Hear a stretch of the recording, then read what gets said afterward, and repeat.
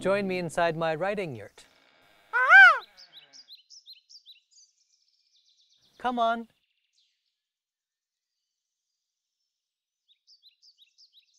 Thanks for joining me in my rainy, cozy writing yurt for Ask Cozy Grammar. I wanted to share a poem with you.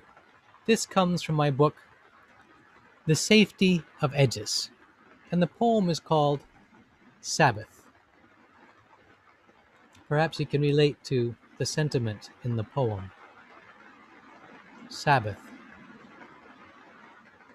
As night falls on Sunday, the floor swept, the rug clean, I can almost imagine the whole world at peace, without oceans dying out, whole peoples disappearing, fire and smoke rising as we race to the finish, where all that we know will be finished. How can one sleep in peace?